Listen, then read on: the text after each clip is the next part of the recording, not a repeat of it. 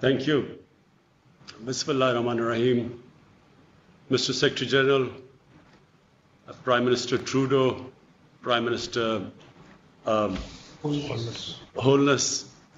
Uh, first of all, I want to thank you for initiating this conference uh, because this is, as we all know, a global issue. It's a glo- global problem and it needs a global solution. So let me just start off by saying that uh, when the virus hit Pakistan and we uh, did the lockdown, everything came to a standstill as it did in most uh, economies of the world where they were trying to cope with, uh, uh, uh, with the stopping the spread of the coronavirus. And when everything came to a standstill, the biggest issue for us was how to look after the most vulnerable section of our population. And the people affected in the non-formal sector of our economy. We, we would, we, in our country, out of a population of 220 million people, the vulnerable section of the society was almost 150 million people. Non-formal sector, uh, daily wages, weekly wages, whose family depended upon them earning money uh, so that they could eat. So we then started this big cash ha- handout, one of the biggest pro- pro- uh, programs in Pakistan's history. We doled out $8 billion to stimulate our economy and, of course, to give cash to the most vulnerable section of our society. But the problem was, and the problem is, we have falling exports. We have falling remittances. We were trying to big, uh, ambitious plans to revive our tourism sector. All this took a nosedive. And I know that this is the uh, problem with most of the countries, but specifically the developing countries face this problem. Uh, to put things in perspective, the total amount of stimulus we could afford to give to our economy, and that was the biggest stimulus ever in our history, we managed to give $8 billion.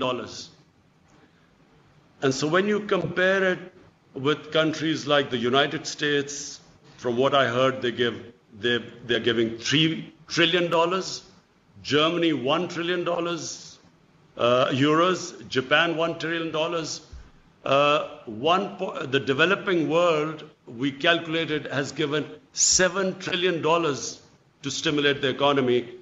And when you, when you compare that with uh, the developing world, unfortunately, we do not have the fiscal space to uh, revive our economy, to look after the most vulnerable section of our society. And uh, in, in case of our country, we had this, we still have this huge, ambitious program of uh, fighting climate change by planting 10 billion trees. So all this money got diverted into uh, dealing with uh, the effects of uh, the coronavirus lockdown. So all I want to say is that it is very important for the developing world to, at this critical juncture, look after the, uh, the, the, the people of the developing world which are struggling. Uh, the, uh, when I spoke to the prime ministers of Ethiopia, of uh, the president of Egypt, uh, uh, prime minister of Nigeria, all of them are facing similar problems to what we are facing. And therefore, I really welcome the G20 for taking this big initiative of giving debt relief. But bear in mind, this, this really has to uh, be thought through.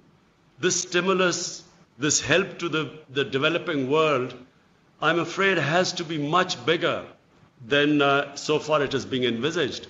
Because, you know, one, uh, you have the developing world with 1.5 billion people.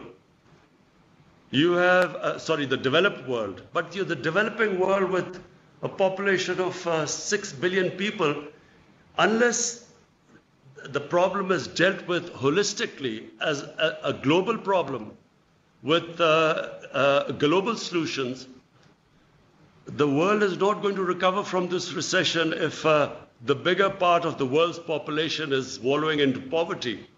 So therefore, uh, I again, uh, Mr. Secretary General, I congratulate you. I think this is again a great initiative.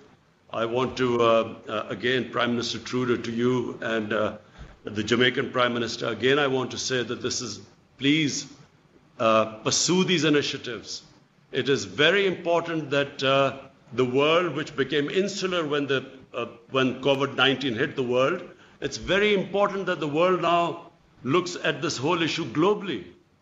And therefore, uh, I'm sure if uh, the uh, developed countries put their minds together and treat this as a global situation, I, I, think that we will all come out of it uh, uh, unscathed. Right now, things look bleak, but I think if we deal it as a global issue, I think that the world will, will, will come out of it. Thank you very much.